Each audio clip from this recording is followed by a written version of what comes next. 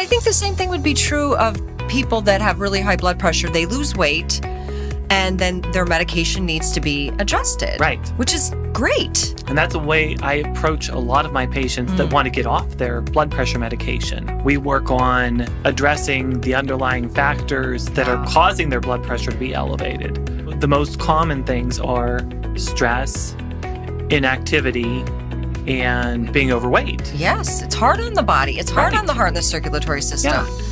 Right. So if you take care of those factors, and there are other factors inside the body we can work with, different nutrients that might be deficient that will help. And I don't have to talk about changing their dosage because their medical doctor is going to have to deal with that. Yes. The dosage, you know, their their blood pressure goes down and you get to a point where you can't maintain that same dosage. You have to reduce it Correct. because you're getting dizzy and you're really fatigued. Yes. And you can show your doctor, look, I've lost 25 pounds, I'm eating healthier, I'm exercising.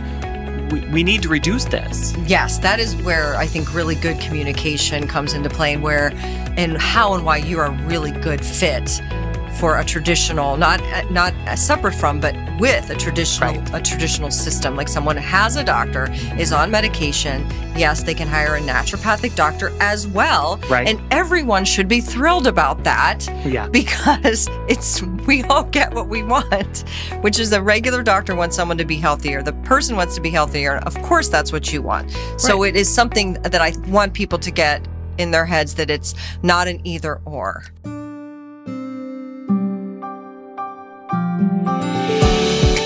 You're listening to Take on Healthcare with Ted Suzelis and Mary Sheehan. Ted is a naturopathic doctor who has been helping people in Northeast Ohio for over 20 years to live a happier and healthier life through natural healthcare, including dietary advice, vitamins, herbs, and other natural substances. Mary is a full time pharmacist who also helps leaders in healthcare suffering with anxiety and depression integrate the best parts of traditional and alternative medicine. If you're sick of the hype around what it takes to be well, listen to today's Take on Healthcare podcast. Dr. Ted and Mary dispense the simple truth about what it takes to live longer and healthier. Because it's January, this is the time of year we, where we are all inundated with messages from the socials, from everywhere about how we can live longer and healthier. This is when America focuses on health and wellness. Definitely. We sh- yeah. should be focusing all the time, but this is when we focus on it. And everybody promises the secret. Right. And the secret is there is no secret, but we still have six ways for you to take control of your health and maximize your outcomes. So please stay till the end where we have saved our best suggestion for last. Suggestion number one is living a healthy lifestyle. It's a, really a cornerstone. It definitely is. And I think that this is probably one of the most important tips we're going to talk about. We're not going to talk about it in huge, great detail because it's no secret. It's living a healthy lifestyle. The main factors everybody knows, but we have trouble implementing different pieces. You have some some people that will be really good at one part, and other pieces they're going to fall to the wayside. And we'll talk about how that works together. But yeah, it's such a good point. And and because that's the cornerstone of being a naturopathic doctor is to get those pieces and parts for that baseline healthy lifestyle. Right. I never thought of it that way. Like that could be why people fail. It's not lack of understanding or lack of messaging. We all get what the basics are. But if you struggle with one part, you may be tempted to just abandon the whole thing of getting well. Right. Or focus on the things that you're really good at implementing. Okay. And forget the others. Which would be human nature. Right. But you're never going to get there then. Exactly. Okay. Yeah. So, um, like I said, these are all things we know. And we're going to talk about seven different factors of living a healthy lifestyle for people. And number one for me as a naturopathic doctor is definitely healthy eating. Okay. We can't, if, like your mom always said, you are what you eat. If you don't put good food in, then you have no hope of being fully healthy. True. True. Other factors go along with regular exercise, hmm getting enough sleep, and managing your stress. And so, for those first four, like I said, some people, you have a lot of people that are, say, gym people, and they'll be pretty healthy because they're exercising all the time, Yes. but they have a lot of trouble with the diet part because, well, they're younger, they're in good health, eating eating crap potentially, Mhm. but they can maintain that because they're young and healthy and the exercise will pull them through. So true. And in the gym, they might look a certain way. And so, and feel a certain way. They don't Right. feel the manifestations of eating something that's not agreeing with them. And I think what I too, what I also like about your broad perspective with food, it's not just because food is going to make you um, feel less energized or gain weight, but could be the underlying issue in a lot of the other health problems that people have Right. we don't link to food when you said you are what you eat. Exactly. Love that. That's a really good point. And then, so those are four things that foundationally to live a healthy lifestyle that you do. And then Exactly. there's three things. Well, there's two things you don't do. Or, you know, then what are those last three that aren't in that, that category? Right. So the last three are going to be maintaining a healthy weight, uh, not smoking, and limiting your alcohol. Right. Those are things not smoking, that's a that's a no. And limiting alcohol, do you agree that do you ever see that where it's gonna the recommendation is gonna be no alcohol? Or you don't think that's possible in the culture? Uh, it depends on what we're talking about. I mean, as far as health wise, I would say yes. Probably we shouldn't be drinking alcohol, period. Right. But just like everything in our lives, we have to have balance. And if we swing too far to the let's totally 100% restrict everything that might be bad for us, eventually you're going to break. You're right. That's a really good point. You're absolutely right. And with the alcohol, I mean, some of the things that really show the best research with actually benefiting you have to do with like red wine. And in men, right? Yeah. But it's just that red wine and yeah, we have we Yes, have this is my problem. like respira, you know, Mhm. um, Resveratrol? resveratrol. Is that it? Yes, that has a lot of antioxidant properties and a lot of different good properties. But you can get that in a supplement. You can get that by eating grapes. You can do other get other sources. You don't have to get it from the alcohol. Right. And and what I think the messaging then gets diluted. So we Right. do one small study with red wine in men of a certain age and then suddenly when the message trickles down to the average person, it's moderate drinking is not bad for you. In fact, it can be good for your heart. hmm Yeah, things get diluted. That's the part that bothers me when we um when the messaging gets to people. It's Right. Well, because the research is fun. When you're when Mm. you're doing research for things that people enjoy, that's a lot easier than telling people, "Oh, you shouldn't do this at all." Uh, my wife and I talk a lot about you know my practice. It is has to do with people doing these hard things to get healthy, Yes. and so it's a lot harder to convince somebody to come do this versus somebody that owns a coffee shop or a Mm. chocolate shop or something where they're selling things that make you feel good and you want to do it even if it is bad for you. yeah. Well, what about smoking then? I know people still smoke. Right. Is there any situation where is is there such thing as all natural tobacco? Is there something where people can smoke? I know that sounds so outrageous to say that. Yeah. So smoking itself, the cigarette smoke, definitely that's where all the carcinogens are. So that's a big no no, no matter Right, what. A right. Traditional cigarette. Yes. Okay. And nicotine itself though, Yes. It, I mean, there's a lot of interesting research for uh, biohacking and things with looking at nicotine Mhm. and how it does improve your brain. And it's kind of weird because smokers, in some ways, would destroy their bodies with all of the contaminants of the of the cigarette It's itself not funny, but yeah. but the nicotine could help save their brain some. I right. mean, you know, so you they can be more acutely aware of the damage they're doing to their bodies. It Right, seems very right. unfair. yeah uh, because and it's yeah that's that's so interesting and i always i want i see some of my patients that are smokers Yeah. and obviously a lot of people that come to my office if they're smokers they want to quit and I would imagine. Right, It's just that right. it's really hard. yeah but you have some people that are really invested in their smoking Oh. and they take all of these other factors to the nth degree.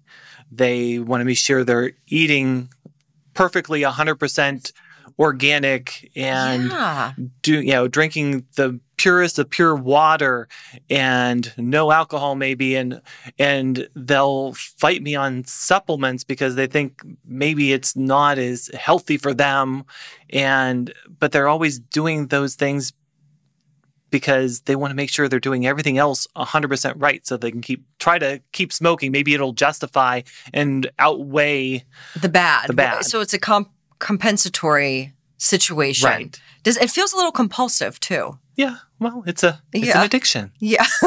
so, but it's interesting, like even the um, compulsive nature of making sure everything else is clean, I guess would be the best way to say it versus the smoking. well it just comes with justifying your addiction that's all It's so interesting. Before we move on from the seven factors that are the foundation of living a healthy lifestyle, let's pause on the weight issue yeah for a moment. And we're all thinking about that with the new year as well. I heard this great quote. Somebody said, You don't gain weight between Christmas and New Year's. You gain weight between New Year's and Christmas. like flipping it on their Right, head. right. right. Flipping it on its head. Like, oh, I just gained so much weight over the holidays. It's really something that has become, that's accumulated over time. Right. It's bad habits yeah accumulating over time for the most part. Mhm. For the most part. Um, so, and we talked about before, like privately, the influence of the media and the body positivity movement. And I think you have a really great view on that. Yeah, it's the that whole body positivity issue is really interesting Mhm. because there are good things about it and bad. Right. You know, you can't deny that being obese harms your health. Well, apparently, we are denying that, Ted. So, Right. just to catch you up. Yeah. but yeah, I mean, you can't deny that in, you know, obesity increases your risk for heart disease, diabetes, different types of cancers. That's just science. Right. Not to mention the extra weight on your joints is going to increase your arthritis pains and make you miserable. hmm So that side of it, That's the non biased science part. That's Right. just data. yeah, And if we talk about the data, that doesn't make us any kind of phobic or anti anything. We're just Right. talking about the data. right, Right. right. And but there's there is something to people accepting who they are and being comfortable with the person inside your skin. Oh, I love that. Yes. You can be comfortable with the person inside your skin and still, because you love that person, want to change Right. so that the outer person, it's all the same person, is, is healthier. Right. Yeah. And, but yeah, by doing that, though, not denying that those, the extra pounds could be harmful to you. But I think thinking about this a lot more, um, I think that whole body positivity and having, telling people that it does not matter whatsoever, I think it comes down to a couple of kind of basic factors Okay. for one, we have a weight loss industry that makes billions of dollars selling everything under the sun, and 99% of it doesn't work. Right. Talk You- about secrets. And we're Right. so, we get so hooked into that. Right. And you have so much mismessaging with different people on what works to lose weight, what doesn't. Oh, it's so confusing. It is. It is. So people don't know what to do and probably aren't doing the right things to lose weight. Mm. And so on that end, it's people are justified in some ways in saying, okay, for my mental well being, I need to stop worrying about this. Oh, I love that. Yes, that is a good point. And I was also thinking about it just from being tired of being judged or people saying mean things. And you want that to stop. Right. The- you want the bullying to stop. And so if we could all just accept, right? And but Mhm. again, like I think you made a really great point. We are more than our bodies. Right. There's so much more to a human being. Yeah. And the outside judgment, Yes. we, we don't do that nearly as much these days. And I think that that's, that's, Good. that's part of the po- body positivity that so really good. should stick. Nobody Yes. should, you know, say to somebody else, you're too fat. Yes. Or say something even worse. Right. Mean. Right. Yes. Right. That should stick as well as just accepting yourself for for where you are right. while Yeah. wanting to change. Because people are the hard we're always the hardest on ourselves. so true. And so by in some ways accepting I guess it comes down to accepting that your weight doesn't make you less of a person. It doesn't detract from you as a person. yeah. And so that I think is really important Mhm. because that will then also help people do what's needed to get their bodies healthier. Like you said, loving your body so that you can make that extra effort so you can be healthier. you can be healthier. Yeah, I like that. And I think there's a lot in the culture that is around appearance. Right. And that's another Oh, yeah. piece of our appearance. Like aging is forbidden, being overweight is forbidden. There's so many things that people feel judged for or maybe are judged for. Right. And it kind of like we just need to collectively see each other for who we really are inside.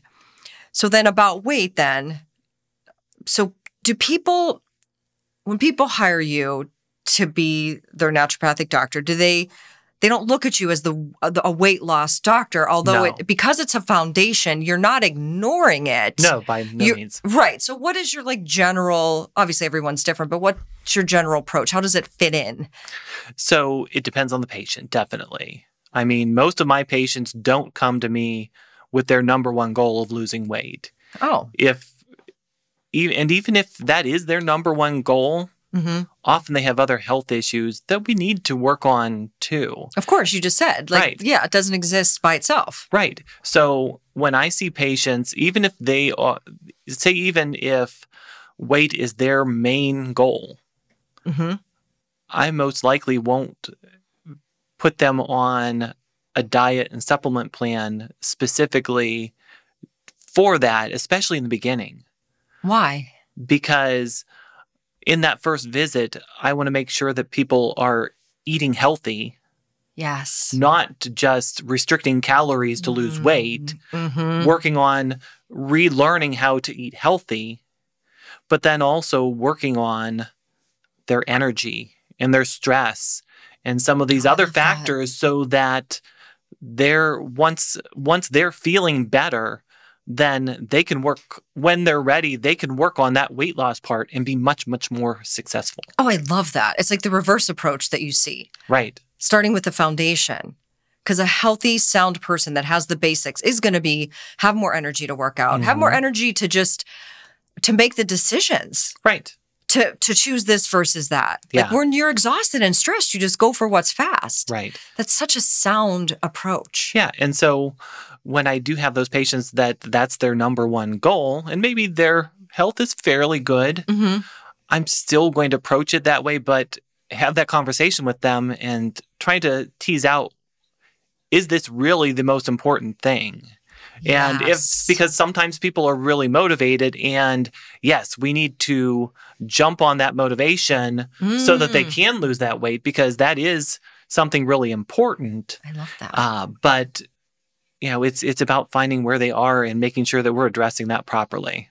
and one of the things I'm sure you address properly is the number two point is addressing chronic health issues. And we do we do acknowledge that being overweight can be in and of itself a chronic health issue, but you would perceive it, as would I, as part of of everything else that's going on. So addressing chronic health issues, that's a big one because don't we spend more in this country on chronic lifestyle related health issues? Yeah, our healthcare spending in the United States, 75% is on chronic diseases. And with that, if we work on all of those steps we talked on in number one, you could, those are all of these chronic diseases, whether it is diabetes or heart disease or cancers, there's a lot Mhm. of different links with taking care of your body, your health, that can greatly reduce those risks. So when we talk about as far as how expensive healthcare is in our country, Mhm. um, that's part of that's part of where that fits because Mm. we could potentially cut 50% out of our nation's budget on healthcare if people took responsibility for their health.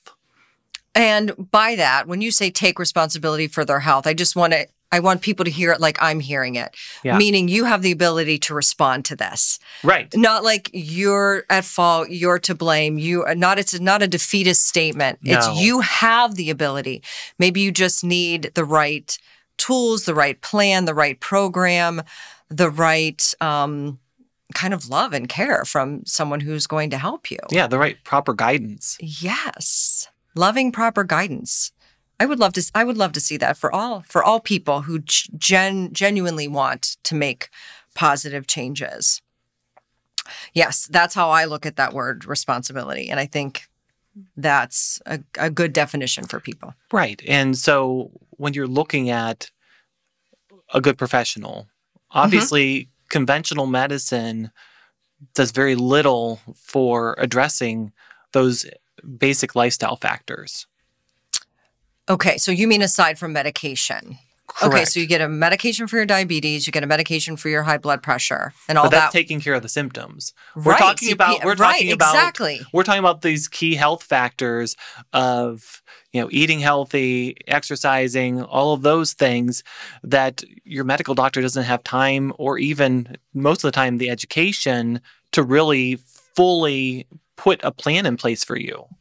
And understanding though that their perception is that they are Right. because they've given you the pill for all of the things even diabetes or um, weight loss now Right. with all the, the injections for weight loss Oh yeah. so they have in their minds fixed it right. which is a different perspective and not to say that getting your blood pressure under control with medication under doctor supervision and taking your diabetes medicine and doing all that yes that is should be done if your doctor says to do it do it Right. but it should be i think a bridge and not a destination Correct. so it's something that buys you some time Right, right. to Yeah. get it together underneath all of that So what I find fascinating Mhm. is with people that are starting to do Ozempic. yes this is a big loss. trend big trend because in my head, I look at this and yes, it's easy to lose weight because you don't have an appetite. right i'd love that Yeah. And, but you go off of that Ozempic because, of course, some people are doing it just for weight loss. Somebody that's on that has diabetes, they're probably going to be on it lifelong, and so this doesn't matter. But if you were type just 2 diabetes they don't Right, have to two. be though i mean Right. type 2 diabetes can be reversed i think we should just say this but it, it is the perception that because i have a disease called type 2 diabetes i'm going to take whatever it is for the rest of my life. Right, whereas the perception is once i lose weight right right, i'll be fine and my life can begin. But that's not the messaging that we give with drugs like ozempic. No, and like you said, then they, okay, so you've lost weight and now you're going to have to eat again because you're going to be hungry. right. And, then what? Well, exactly because because yes, you're going to be you're all of a sudden have to deal with that hunger that you've always been dealing with before, uh, and so you won't have you won't have the tools to deal with that. Yes. Plus, on the other side of that too is by doing such rapid weight loss without eating healthy and necessarily exercising, do other things, you're going to be losing muscle just as much as you are fat. Right. So your metabolism is going to be through the floor and you are going to gain all of that weight back very quickly if you don't take care of yourself properly. and I, I've seen, I have one patient, that's what happened to her. Yeah, so when we look at this, it's it's very similar to if somebody has bariatric surgery. They get Mhm. their stomach stapled or a band or whatever it is. Yes, which is very dramatic. That is a great parallel because the Right. stomach is supposed to be this size and then you've made it this size. Right. And I think people, that's a great parallel because what you're doing with the Ozempic is you're hijacking your normal hormonal system Right. and giving it, you're blocking its signals in essence, Mhm. which can be good short term, but long term, it, you've made such a dramatic, it is equivalent to surgery. It's such a dramatic taking over of the body. Right. And just like we've seen, because we we have data for 20 plus years of people getting bariatric surgery. Has it been 20 years that It has to be in the, at least. I think you're right? It has okay. to been.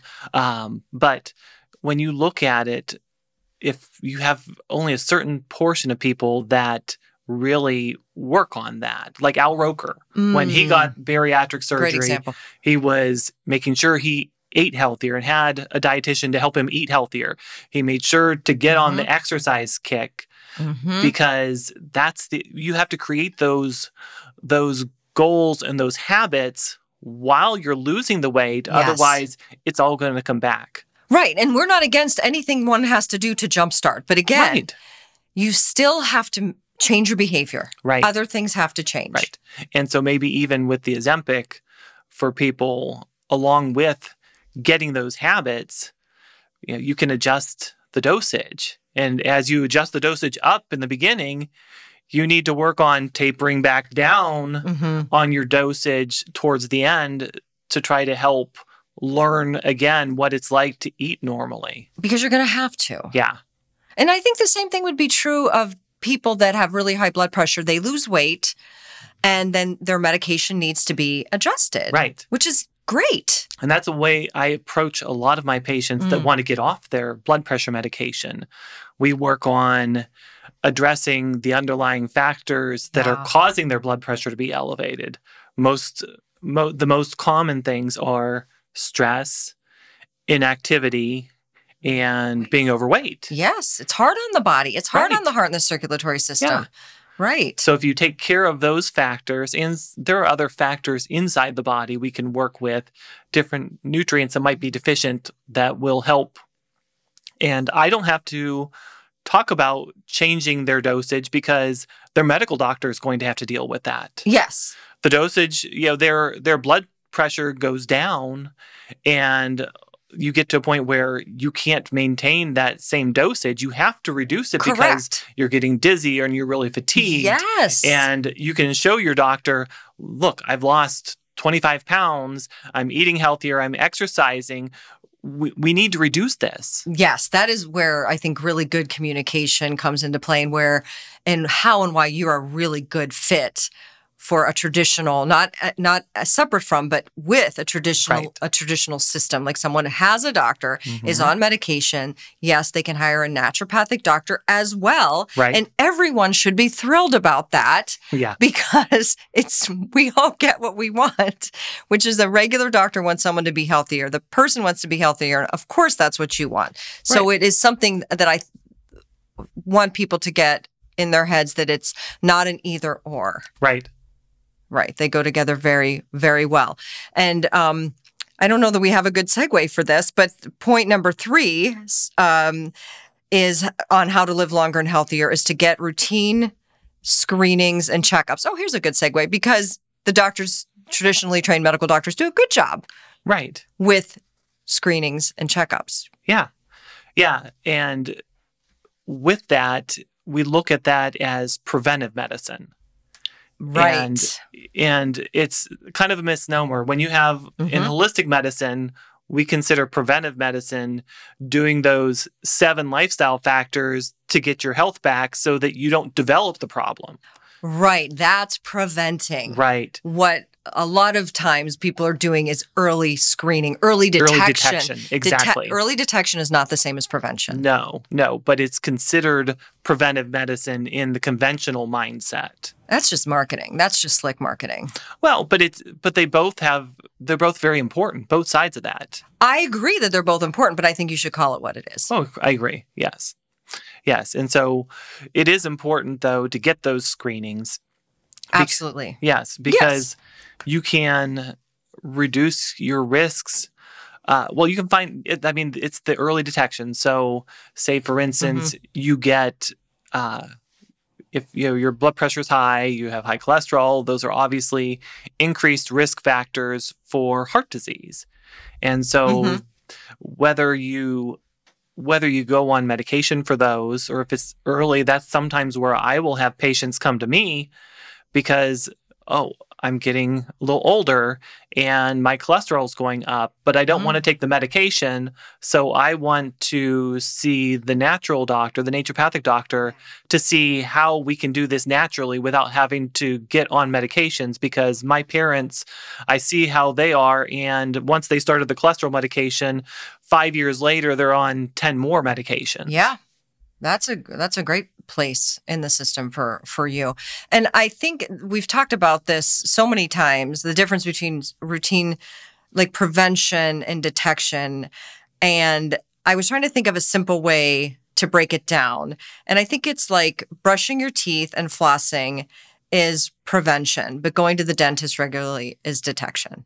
Right. Yeah. Oh, that's perfect. That's Yeah. perfect metaphor It's simple. because it is, you have the factors that you need to accomplish. Mhm. And then there is that routine screening Yes. and Yes. cleanings. And the dent, I mean, the dental industry has done such a good job at all of this. Yes. I mean, they they have learned where most people are paying out of pocket, Mhm. and I but they know, but you know, I need to go to the dentist every year, or sometimes even every six months I go every six months to be able to I get those cleanings Mhm. so that I don't get cavities, and so we don't we can keep our teeth Yes, because people see them and that's so Right. painful. right. It's such an immediate pain. yeah, And I want to make sure that the things that I'm doing to prevent, I go in and is it working? Because Right. she's measuring all the things and checking Right. the teeth. Is my prevention working? At the the worst is that she would detect something early. Right. Right. And I think we can look at that like the whole body like that. Yeah, and I just and I guess I guess with me it's it's I find that interesting because it, it does go along a lot more with our vanity. And I think that's Oh, part of what 100%. causes people to be on board on that part of their Yes. health versus because you can see it. and versus the internal stuff with the naturopathic medicine Oh my God. and being s- healthy. I started to tell people um, because the you know the alcohol consumption is up in this country, and I'm like, oh my god, imagine if people could see your liver, right? Like, if it, it's not, there's organs that are not visible, like skin is visible, Right. So we're very concerned about acne, and your teeth are visible, and all these things, but the things that are really causing you even perhaps even bigger problems no one can see thank goodness Right, right, I, uh, yeah. I mean, people will sometimes balk at my the fees for my services to get them healthy, but pay more to their beautician oh once or oh. twice a month for their hair. Absolutely. The beautician makes me feel good, and you're telling me to eat carrots. Yeah, it's a no brainer, Ted. Sorry. Yeah. I I agree. I understand. right. But, But, it's just, it's interesting that psychology. it is psychology, and, and there is a perspective check because what what you have to do, I have found, in order to get healthy and stay healthy, is you're gonna suffer a little bit right. daily. so you're going to pay the price in the suffering daily for the long term goal of being healthier and living longer. Right. And there's just, there's just no way around that. Yeah. There, I mean, there's ways to ease the suffering, but it is not easy. Right. But to to sort of finish up this piece on early detection Yes. and why that's important. Mhm. So breast cancer is a really good Oh, example, example. because if you detect a breast cancer very early, you can have as much as a 99% chance of long-term survival. Wow. if you catch that cancer, breast cancer stage four, very late, you're talking about less than a 20% chance of survival. Wow. That's a great point to drive the that home. Right. Because that's a screening that is done so routinely. So people understand and know it. And just like you're flossing and brushing your teeth is something that we all understand a lot better. Which is good. Yes. which is good. We wish we could apply that kind of understanding to just overall wellness. All right. So, our number four point, our number four way to live longer and healthier is to prepare for your doctor's visits. Yeah. I like this one. Because I don't think people think about it. No, and it's it's really unfortunate because people really don't get the most out of their visits because they don't plan ahead. Right. Well, no one tells them to. No, There's no, there's great I- ideas you have about before, during, and after the visit. right, It kind of reconceptualizes the doctor's visit, yeah, which I love. That whole thing needed a makeover, yeah, definitely, a rebrand, right. as and the kids say. when you consider that, con- especially conventional doctors, Mhm. they don't have the time to really spend full time with you. You need to You need to be prepared. You need you need to, to- understand that and Exactly. maximize it. Right, Mm-hmm. right. So that pre-planning step, we uh, we have to first write down changes in our health, changes in our medications, any testing we may have done from another doctor. Yeah, because they might not know. You No. assume they know. They Right. don't know. Right. Typically they don't. hmm Even if it's in the same uh, medical system, they're still using the same electronic medical records. Mhm. maybe they're busy and they didn't get a chance to look at that. So you need to be good and be your own advocate so that you can take care of all this.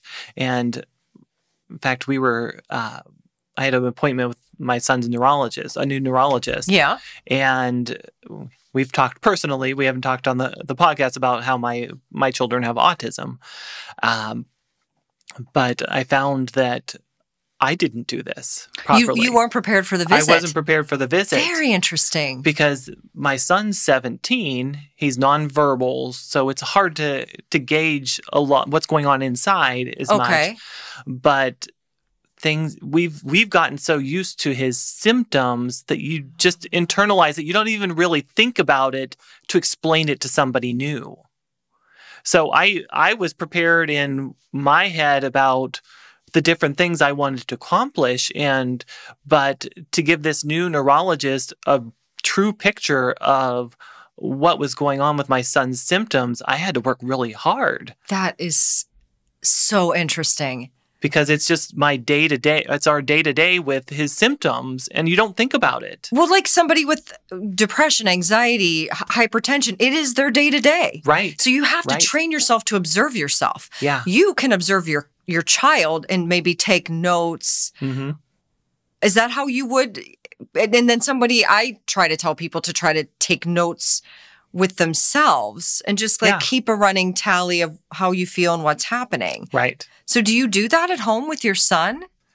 Not or as much no, as because I should. because it's like you said, it's just your life. right. No one's taking notes on their life. Right. And and after that visit, I we had already had this whole episode planned, but that made me take uh, just another step back and look at how important it is just for symptom tracking. Yes. And I'm working at bringing a new system into my office to help people to better track their symptoms so that we can see progress through our therapies, but be able to have something that they can have on their phone or on their computer so that they can take a daily or a weekly assessment. assessment. I was just going to say, isn't there an app for that? My There is, goodness, there's yeah. an app for everything. Right. No, that's great. Yeah. Like, not everybody loves to do what I do, which is take a pen and paper and write stuff down and carry Yeah. around notes.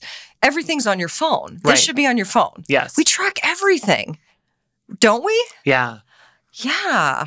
So this is good. You're going to implement that in your practice. Right. And I would think it'd be very rewarding too. We think of perhaps too often the downside. Like, oh, you come back to the doctor after so much time. Say you're starting on a new antidepressant. What's changed? Nothing. Okay, here we're going to change the dose. What's changed? Nothing. Here we're going to add.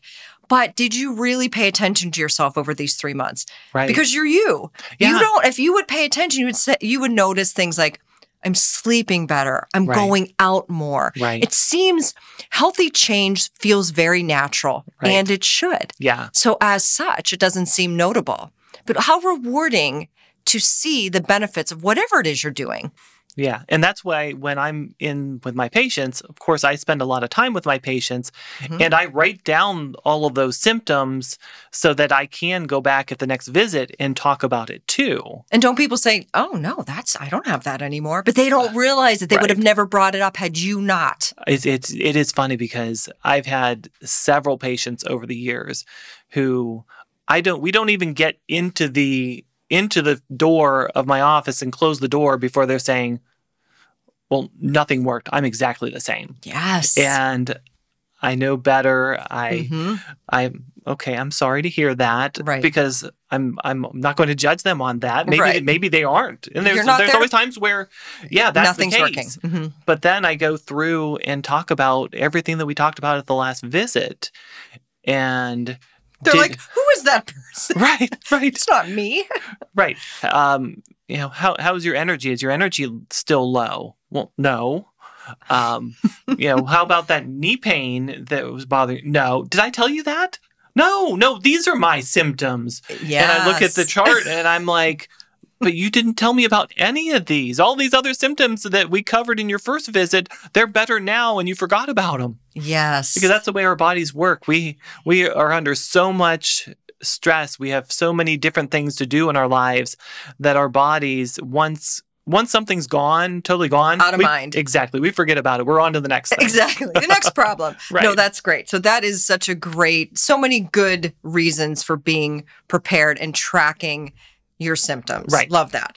So that's probably good for preparing for a doctor's visit, I think. Well, or do you have one more thing? I have one more thing, and that is making sure that you have somebody come with you. Oh, that's such a great point. because and, and it depends it depends on your state of health too i mean if somebody's fairly young and fairly healthy they don't have a lot going on you probably don't need your spouse or mm-hmm. friend or sibling or whatever to come in but when you start having more health issues is where it's really important because you you can have somebody that's taking notes right? and can remember what the doctor said when they shocked you when they told you you have high cholesterol or you have high blood pressure or whatever it might be you have a third party that can you know pay attention to that Yes, because I think people don't realize it's just human nature sometimes to go into that kind of shock state and you literally stop listening. Right. It's biology, Right, not yeah. psychology.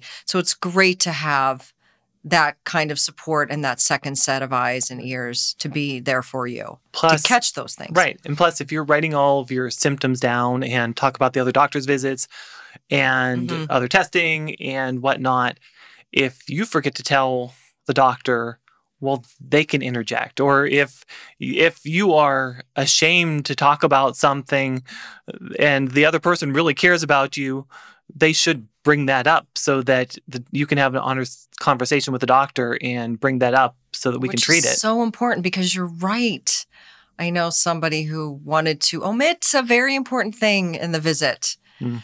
and um, someone had to go with him. Someone who loves them very much, and to to talk about the thing that they the doctor can't help you if you don't say what's really going on. right And it, it is hard. I'm not saying it's not hard and I'm not sympathetic, but I think in the long term, it's better to suffer a little bit and say what you don't want to say. Right. So let's go to during that doctor's Yes. visit. Okay. You've, you're well prepared and now you're in the visit with your doctor. Right. And so number one, you need to be open and honest with the doctor, like we were just, Just talking saying. about, because they can't help you if you don't tell them what's wrong. Right. So you have your, then you're like, oh, I don't want to tell them that. Right. A lot of times people omit information for very interesting reasons. Like I used to have patients that would tell me things. I'm like, we have to tell your doctor. I can't. They'll judge me. They'll be mad their medicine isn't working. Right. They'll be mad the medicine isn't working. Or Like, be people- mad that I'm not taking the medication like I'm supposed to.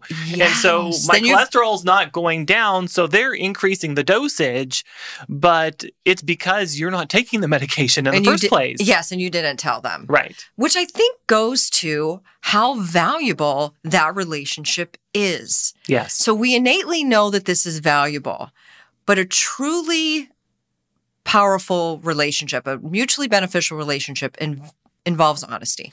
Right. And this is no exception. No, definitely not. Okay, be honest. Say what's really going on. And the second tip is to make sure that all of your questions get answered. All too often, we have, you know, we can put those questions down and, And we the doctor, know we want an answer. Right. But we get there and then we don't ask. right, because the doctor's rushing through things Mhm. and you just let him, Or the perception is they're rushing. right, right, Right. right. Mhm. Yeah, but your this is your health. you need to make sure that you get your questions answered, You're right. or else you can't do what the doctor asks you to do and be a good patient. Great point. And Ask along those with those questions, get those answers. right, and along with that, asking for clarification for things you don't understand. That's a hard thing for people to do in general. I It think. is. It is. Uh, it's so funny how we get scared of looking stupid, Mhm. Yeah. and we all do it. And you know, you, the doctor says something. I well, I don't understand that term. I'm Mhm. just going to move on to the next thing. Right. So I don't have to feel embarrassed. Right, right. And I have a friend from medical school, and he was not willing to, he didn't care. He was getting his medical education. If he didn't understand something, he's going to ask it. And oh, I love that. most of the time, the rest of us didn't get it either, but we were ashamed to ask. Mm. And my good buddy Frank, he just say it like it is. He's from Philly, and he's not afraid of that. He, uh, yeah, he's just going to make sure that he gets his questions answered and understand what's going on because that, especially, I mean, medical school learning this to help others isn't any different than you understanding it for your own health during a doctor's visit. True. So that a guy like that would probably make a good patient, but also a good doctor too. Right. Oh, yeah. Because he would allow space for that, for those questions. Right. And I think most doctors are kind and considerate. If somebody said to them, I don't understand what you just said, they wouldn't say, Well, too bad. I'm not repeating myself. Of course and if they, they, would. if they do, then Yeah, that's then not your doctor That's anymore. probably not a good person for Right. you. Correct, correct. right. But give them the benefit of the doubt. Of course, of Yes. course, because 99.9% of the time, they're going to be happy you asked that question and Yeah, ask for clarification. Yes, something bad could have happened because you misunderstood something. Yeah, and it may have been their fault for not explaining it properly, or they may have misexplained something, Right. and you ask for the clarification. They pull back and realize, oh, I need to explain this this way so Mhm. that my patient can understand. I'm talking in Yes. medical jargon that they don't understand, and if they don't understand that, then they're go- not going to know why I want them to go for this MRI or other testing or see a specialist or whatever it might be. yes, it's a give and a take, a send and receive. Right, right. Send, receive, send, receive. Yes. And then your last point on this during the visit asking for help implementing your plan if needed. Give a good example for that. So so if if if somebody is you your doctor prescribes a medication hmm and well you don't know when am I supposed to take that medication? Is it supposed to be at bedtime? Is it supposed to be in the morning? Is it supposed to be with food or away from food? hmm Uh, also, say you're not, you haven't been in the medical system before. This is your first big health issue. Oh, wow. And you you may need a lot of support, especially Right. with a big diagnosis. Right. And so you don't, you don't know exactly how to Change your down- diet. Th- that's no. what I always think. Because what what we hear, like, here's my first blood pressure medicine. What did your doctor tell you? Oh, I got to eat healthy. right, They don't know what that means. right. But also, how often does a doctor just write down the script? I want you to go for these labs, but never tells you, Why? okay, the the the where you get your blood draw is two doors down from here. And you need to make sure that you're doing it fasting or Oh, whatever yeah. it might Good be. point. Little the little details. The little details, and especially Okay. somebody that's not been in the system before, They don't know these they things. really don't know those It's things. true. And it could, That is a great point. We who are in the system, it's just like breathing to us. right, Someone who's never been in the system, it's like a strange world with a different language and a different Mhm. set of rules and things you don't even know you don't know. right. So I keep talking about cholesterol, but Yeah. say they your doctor sends you for some routine screening. You haven't really done this before. You don't realize that I'm supposed to do it fasting overnight. So you go to the lab, get your blood drawn. You're you just had a, a Big Mac and fries and whatever else. God forbid. exactly. And then your doctor sees your cholesterol sky high because of that. puts you on medication and maybe you didn't really have cholesterol issues. It was because you did it non-fasting. And it was in your bloodstream. Right. And that's such a great point. I mean, I hear my I hear you saying this and I'm like, "Well, everybody knows that." No, they don't. No. No, they don't. We make a lot of assumptions as healthcare providers about what people understand and what they Right. don't understand. Right. All right. So then we've that's being prepared for the doctor's visit, a very important factor. And then our next topic under that is what to do if your doctor suspects a major health issue. So you're in the visit. Yes. You've done your pre-planning, you've prepared for this visit, and your doctor suspects a major health issue. What then? Well, first thing is to not get ahead of yourself and get too scared. Because oftentimes we have routine screenings where a cancer or something might be suspected, Mm-hmm. but there could be other reasons for that lab being out of range or a lump or whatnot. So I always tell patients to don't get scared yet about that. Make sure that you wait until they tell you that something's wrong. Obviously, human nature, we're going to be worried. Yeah, we suspect the worst. It is part of human nature. Like Right. we're always worried that something has gone terribly Right. wrong. But if we can. Self preservation, that's a normal thing. right. Yes. Right. But if you can have that proper perspective and know that a lot of the time it's going to be a false Mhm. positive, this isn't going to be me going through this horrible cancer treatment or whatnot. hmm Wait until they tell you that there's something to be worried about. Yeah. Trust the process. Right, You've trust the come this far, process, definitely. Tru- come this far. Trust it. Okay. So, what do you have any other tips for like if something is suspected? Oh, what about getting a second opinion? Yes. So getting second opinions are very important. Mhm. If you, for all types of reasons, if it's something big, you definitely want to get a second opinion to make sure that the treatment program is going to be right for you. Because there could be other options. Right. Right. I mean, a lot of medicine is pretty like cookie cutter. I'm Well- looking for a more scientific word for that, but there may be a different perspective or a different option. Right. And we're talking about for big things. Big, absolutely. This is a big, major health issue Right. suspected here. Yeah. Right. Do I need to what is what is what is your protocol for my cancer treatment or Sure. uh, my heart disease or whatnot? And so you might get a different perspective and might find that it's something that's going to be better for you.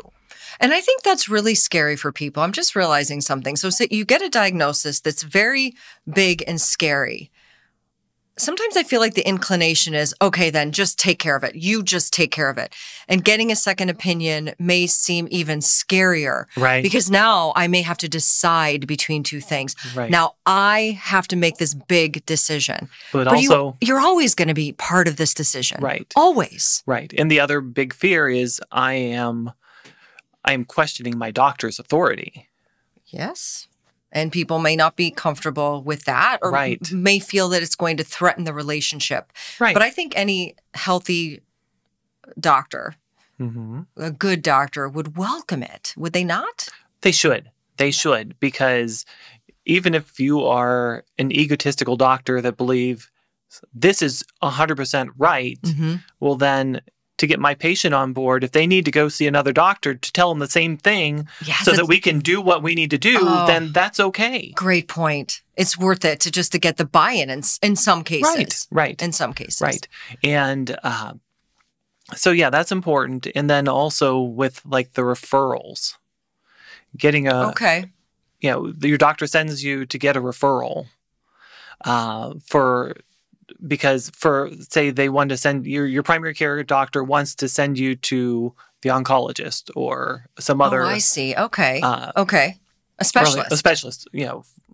And I've seen several patients that they get scared. They don't want to go to, say, the rheumatologist Mm. because, well, if I get diagnosed with rheumatoid arthritis, they're going to put me on a lot of nasty drugs. Right. But I always push my patients to actually go to that visit because the rheumatologist is going to be the important person to go through all of the proper labs to get the best diagnosis.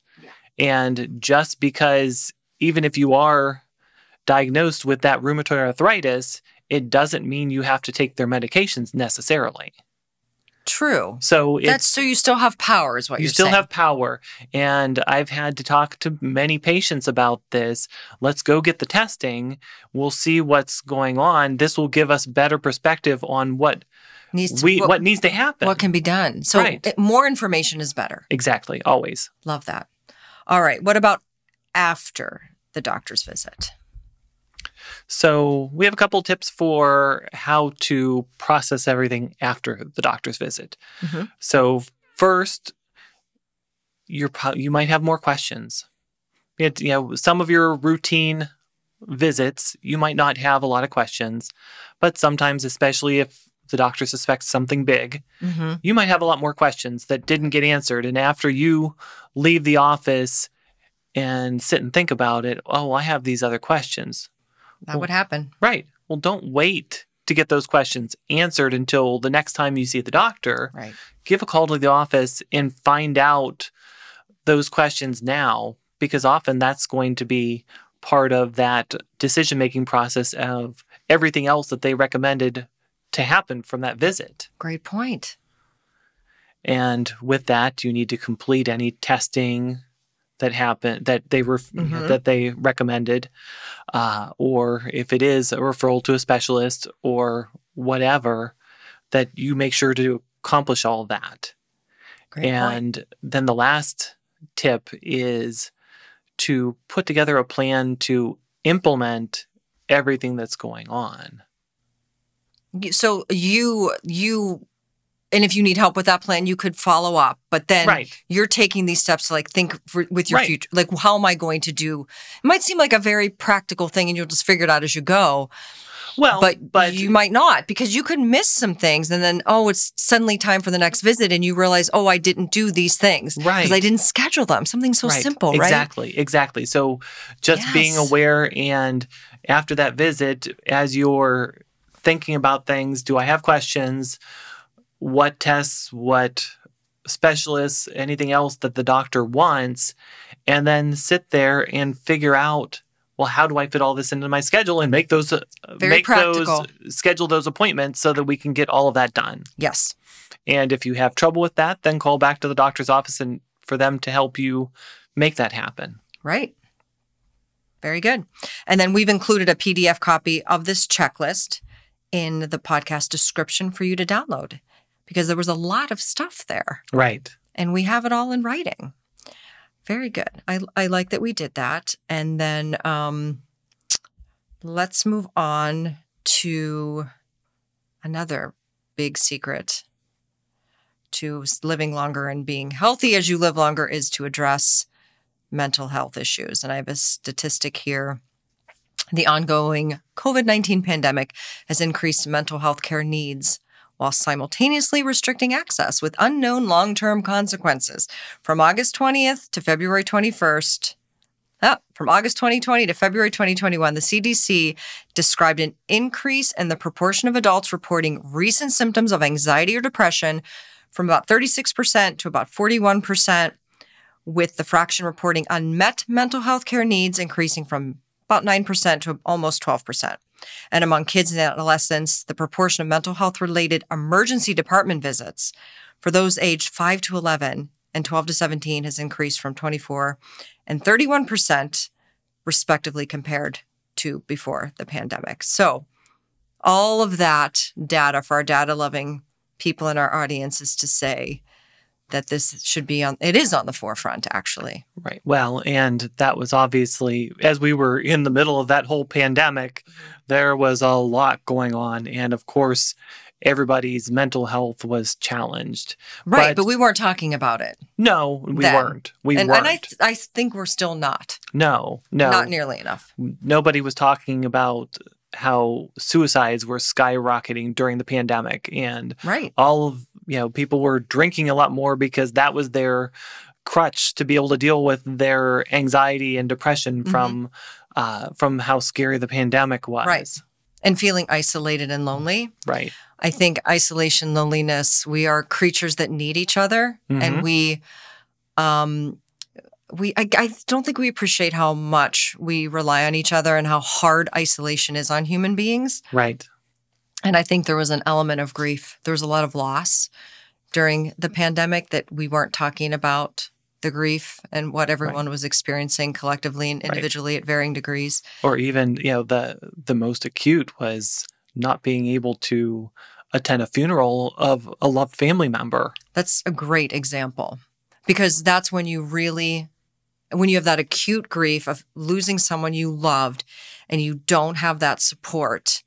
I think that that incident of loneliness during that time, I think we hold that in our hearts. hmm And I think probably many of us still are.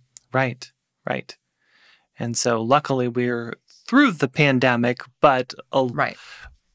that brings us, for one, some of that has not been addressed. A lot of that probably hasn't been addressed in people's lives, Right. but also just the everyday, day to day mental health issues that people face that we don't really cover well. And there's definitely been much better push to uh, in the media, the the PSAs and things to make it people understand that it's okay to talk about your depression, that it doesn't make you Yeah. weak, Correct. that and there's been there been a push for that. It's still, but people still aren't addressing and really taking these things on well enough often. I think so too. And I think the reason is it's hard to be vulnerable in that way. Mm-hmm. um, we have a culture that really kind of yes we do rely on each other psychologically and we are creatures that need other creatures and other humans but there's still this thing about an american being very independent and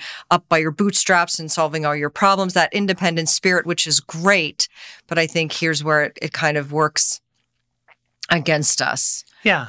in a way. And with that too is that people don't necessarily understand all of the options they have.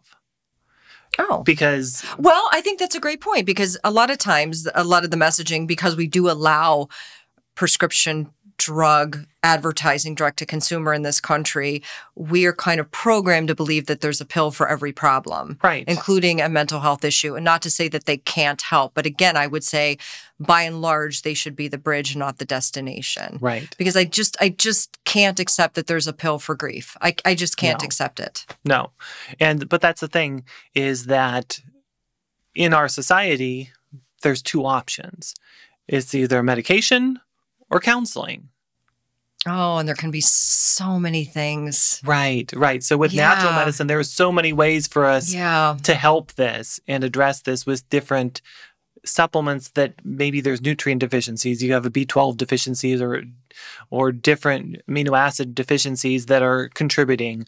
Uh, also lack of exercise. Exercise is so important for our mental well-being and if you're not getting that exercise you're going to be more stressed you're going to be more anxious or depressed. Yes, we were just talking about that in CrossFit today. I mostly do CrossFit for my mental strength Mhm. because it's so impossible for me to do that I kind of build that resilience, that mental muscle that I can do hard things. right And um feelings of grief and isolation and anxiety and depression, getting through those is a hard thing. yeah Yeah. And that doesn't mean that I don't get help or that people shouldn't get help. But I, yeah, I get that exercise has other benefits. But for me, it's always been about my mental health. Right.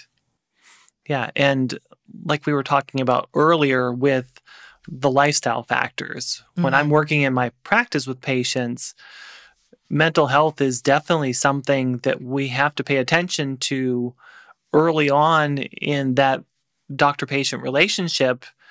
Be- like I had, we talked about early in the episode, I work on eating good. I make sure that Mhm. people's energy is good and I work on Right. the mental part of it too because that will if you have a better mental outlook you'll be able to follow the plans better and get better results Of course, it's all connected. Right. The mind and the body are all have always been hanging out together. They will always hang out together. Are you sure? Yes, I I'm hundred percent on but this. the, but the psychiatrist I know. and the neurologist I know, we and the all these- gastroenterologist they all would have a different thing to it's say about so that So true. But didn't we? Haven't we learned recently uh, about how much the gut health influences our brains? oh yeah Like I've always known this because I hung around with people like you even 30 years ago. But you've known this. Like a healthy gut is so important to your mental health. right right for lots of different reasons Right. And you always would be addressing that gut. right well because yeah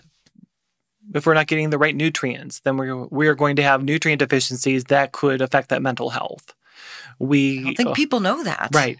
We could be having food sensitivities or allergies that are affecting that mental health. If you're not eating properly, you could be having low blood sugar spells that are causing changes in that mental health. So there's a lot of just basic stuff. It doesn't have to be this woo woo, your gut controls your mind. And, you know, I mean, it's definitely a lot. I like that. but I like that. No. well, I agree. it I agree. influences. It influences. Exactly. Yes. Oh, it's a great point, though. Like what you just said. It's like that's now the messaging, and I think with that messaging comes a lot of a lot of things that are very fancy and very complex, Right. and magic pills or magic herbs or whatever, and that's not Not where you- always, not always where you need to be. darn it, right?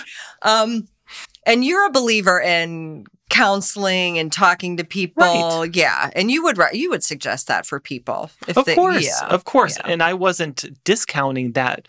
Oh no, I no, wasn't saying no. that you that you were, but I think it's something that maybe we don't think of a naturopathic doctor would suggest a counselor for somebody.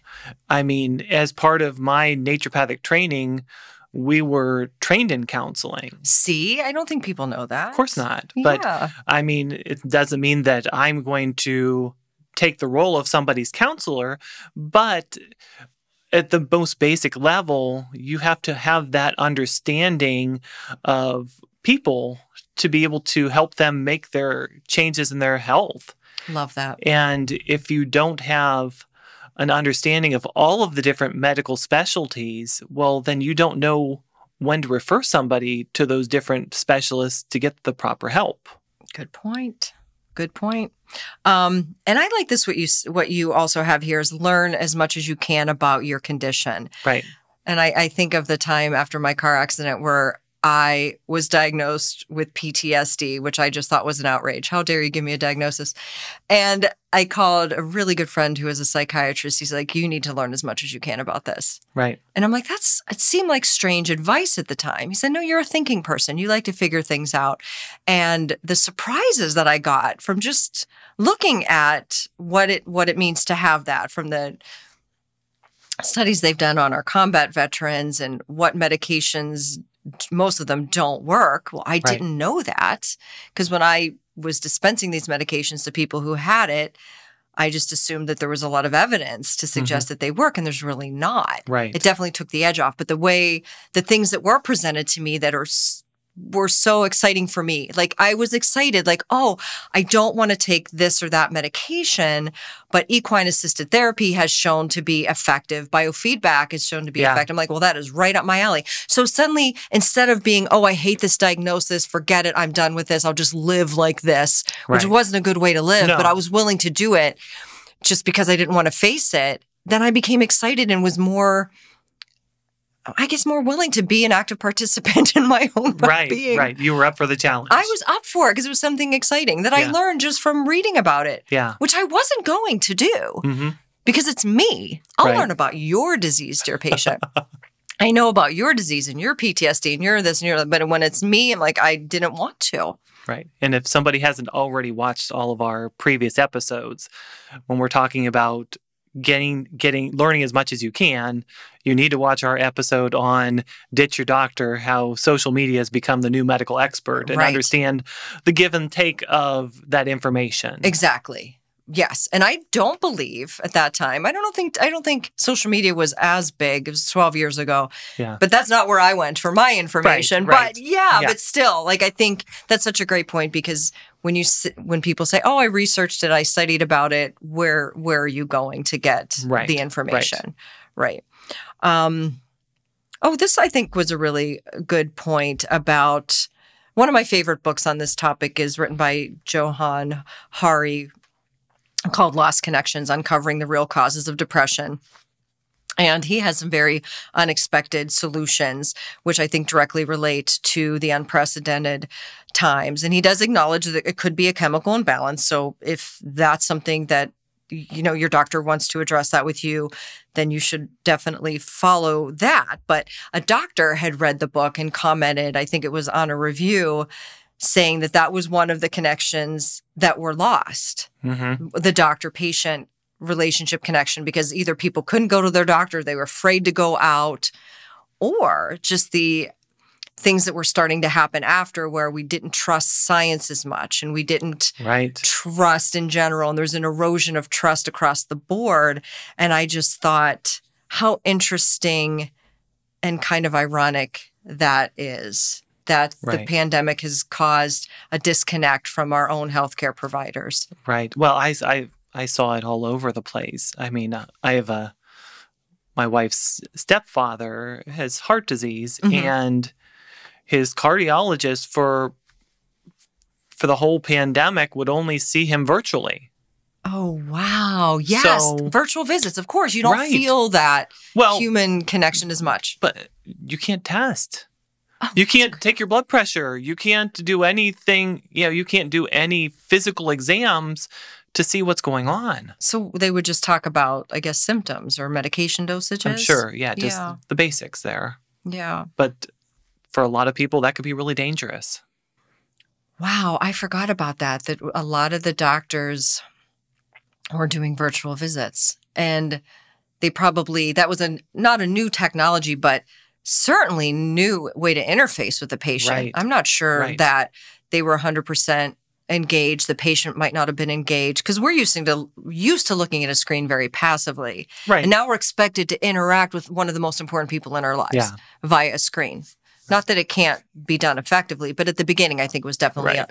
a, a lot harder. Yeah, you'd always. Wow. I I remember seeing something online where uh, somebody was talking about, boy, this TV show is really boring, and the other people on the conference call were like, Joan, pay attention. This is a this is a work meeting. Right. It's not a TV show, but it's, again, I think it goes to human psychology, how we become very passive in front of a screen. Right. Right. We're just on receive or we're totally zoned out. Oh my gosh, such a great point.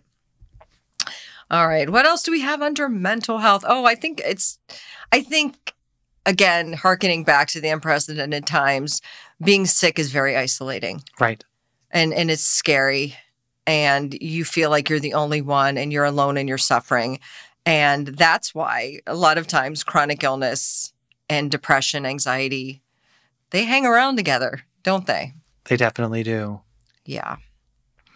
So it's important to address that aspect of that. And even like um it's isolating even within your own family. I don't think you necessarily need a counselor or if you have a counselor or therapist like that that doesn't mean you shouldn't talk with your loved ones about Right. what's what's going on with you. Of course. Of course. You can't hide it from your. You really can't hide it, but I think people think that they can. Well, I. like I thought I could hide the Yeah. PTSD. Right. I'm, I'm not leaving my house. No one will notice. and I didn't. I didn't mean that in a Mm. that it's impossible to do it. I mean you shouldn't. You shouldn't. But I but right. I know what you meant, but I think Right. I think I mean, I thought I could. Like nobody needs to know how hard this is for me. Right. I can fake it. yeah. And I think people want to help. I have not lost hope in humanity. Good. we we want to help each other. Um, what else did we have to say about mental health issues? but yeah, just about, I mean, that it is so isolating. Um, and with any health, any chronic health issue, Mental, physical. mental, mental, physical is going to bring in an aspect of isolation.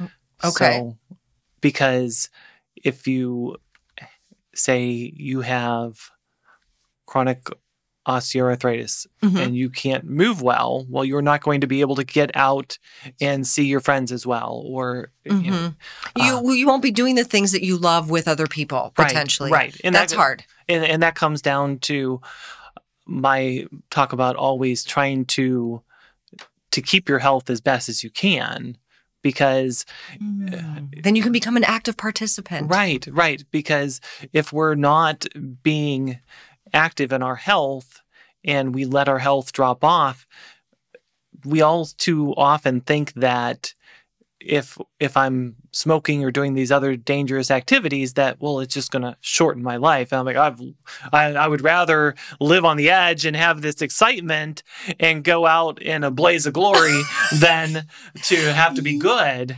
But Yes, unfortunately, it doesn't not- work that way. Boy, that's watching too many movies. Very few people Right. go out like that. It Yeah. is long, slow, and painful and Exactly. isolating, right. which I don't think people are thinking Right. about. Yeah. Yeah, and that's we talked about that in one of our other episodes with taking you know taking control of your health so that you can because paying for different therapies natural therapies To can- prevent. to prevent and or reduce your disease state Yeah. um, it's a an investment in your future because you don't want to have your later life where you're stuck in the house and can't do anything or in chronic pain where you can't enjoy your life. It's worthwhile when you're young to take control over it so that you don't get to that place. Right. And we we've always done that. I've always taught my kids that. And I love hearing you say it because back then it did it seemed like, well, this could fail, but we spent our money on preventative medicine. We were Right. doing things that now it seems pretty mainstream, like the people that I was hiring to help with certain things. And I remember visiting um, my homeopath at the time and his family, and she had this big bowl of beautiful produce on her counter. And she just kind of pointed and said, This is where our money goes. Meaning, and she, it, in that sentence, she was saying really so much. Right. It was organic, it was locally grown. She, what she's saying is, this is where we spend our focus and our energy on really good, high quality food that I cook here in the home so that my kids are going to grow up to have a long, healthy life. right. Right. I just love that. Yeah, and unfortunately, uh, people look at eating healthy as too expensive, or I think I think more often it's it can be used as an excuse because we still want to eat the same processed food, so we're just paying we're paying three times as much for organic Oreos and gluten-free Oreos or All natural Oreos. exactly Best invention ever. now I'm healthy. right right I And- spent twelve dollars for this pack. Right, and yeah, you're you eh, you can't have gluten or wheat, and so you have to spend you know five, six, seven, eight dollars on a loaf of bread. Well, maybe yeah, you have to have some of that for variety in your life, Right. but maybe you shouldn't be having two pieces of toast with breakfast, a sandwich or two at lunch, Right. and then some buttered bread at dinner, where you're eating almost a loaf of bread at you know six, six, seven, eight dollars. Yeah. it's, it's about those priorities. yes, and really having a, a- an understanding of what what is the baseline for getting healthy, Mhm. and we do get off on those tangents. Right, right. I, I love to tell people that what's more expensive, a pound of bananas or a pound of M and M's? What is more expensive? Well, a pound of bananas is usually like fifty cents or less. I buy a lot of bananas. I don't buy any M and M's, so I don't right, know. right. Yeah. Well, you're going to spend you know several several Oh, dollars. I mean, that's not something I buy either. No, but that's such a great example. Yeah. Because really, though, Ted, if I were to find myself in the candy aisle, God forbid, here I am in the candy aisle. If I am indeed purchasing a pound of M and M's, I'm not. I'm thinking about the joy and Right, the fun. right. I'm not buying M and M's, Ted. At that point, I'm buying joy and fun. That's what I'm buying. Right. But that's where we need to again change that kind of right. narrative. Yeah. If you're eating the edge of the grocery store, you're Yes. eating getting your produce and your meats and things on that end, Yeah, and don't a bunch of processed right. food. Don't wander in there. No. If you're in there, they gotcha. The natural gonna- versions of those are always going to be yes, that's where you would spend all of that extra money. If Right. you're eating your Processed. your good, healthy, basic foods, it's not going to be that much more expensive and might might even save you money if you're really doing a diligent job with it. Right. And but that's a whole lifestyle change too. Right, Because then right. you're cooking and you're preparing and it's it's it's a whole thing. Yeah. And then maybe do we have anything else to say about mental health? No, I think we've Now we're in the grocery store with M&Ms. Right. Which is where I which I love that. Now I'm now I need M&Ms. Um our last point, which is a good segue, is that you do have to participate. Our last point number 6 is it really cannot happen without you. No.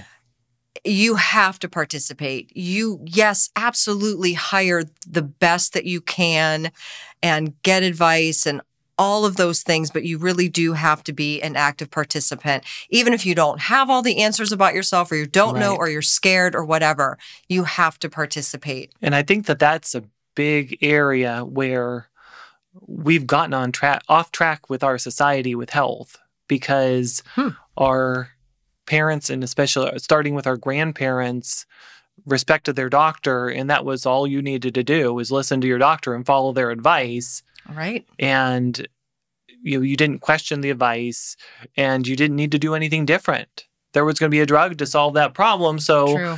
you know, it's easier this way, so I'm just going to do this. Mm-hmm. And people, for the most part, lost that their ability to be an active partic- participant, in their health. And but and and look at the data. right? That doesn't work. No, We're not saying abandon anything, but ins- reinsert yourself right, into your own wellness journey. right. Yeah. Yeah. don't turn it over to anybody. No, no, because you are going to you are going to be able to be the person you you have for one. It's going to affect you the most. If you don't do what you're supposed to do, you're the only one that's going to affect negatively. It's not going to affect your doctor. Or anyone else. or anyone else Right. it's it's you so you deserve to get the best for yourself and be an active participant so that you can make that happen Absolutely. I think that's a great place to end this. definitely Yes. So thank you, Ted, for your great insights.